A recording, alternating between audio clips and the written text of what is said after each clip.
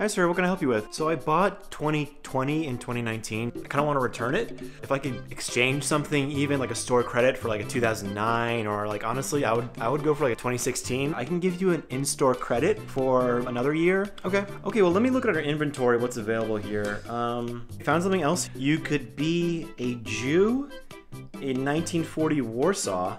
Sounds kind of fun. No one really wants to be a Jew, but you get to live in Poland, and that's a cool. Not to nitpick or anything, I'm grateful for what you're doing, but that there was a bit of a Holocaust back then, and that, that, that doesn't sound. That like- wasn't a good time to be a Jew. something just popped up here. Um, you could be a Rwandan in 1994. Beautiful Rwanda. Um, Okay, okay. Okay, there was a genocide. There was a little genocide there. You might. Mm-hmm. I'll, I'll find something else. I'll find something else. Let's go further back. Let's go a little further back in time. How about this? 1347, medieval Europe.